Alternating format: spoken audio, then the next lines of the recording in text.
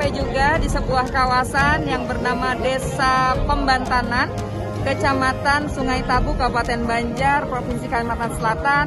Salah satu kawasan yang terisolasi sejak banjir ini melanda kawasan Kalimantan Selatan.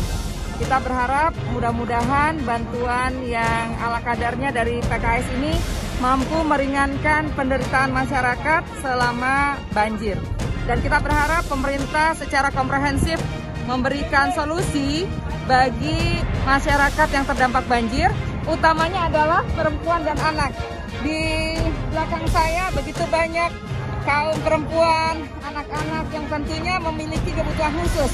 Dan hari ini kita meminta pada pemerintah untuk memberikan keberpihakan, utamanya pada penanganan bencana yang ramah terhadap perempuan, anak, dan keluarga. Sekali lagi, keluarga adalah pilar ketahanan bangsa, sehingga pada masa banjir seperti ini seharusnya pemerintah mengutamakan dan memprioritaskan kebutuhan perempuan, anak, dan keluarga. Terima kasih. Assalamualaikum warahmatullahi wabarakatuh.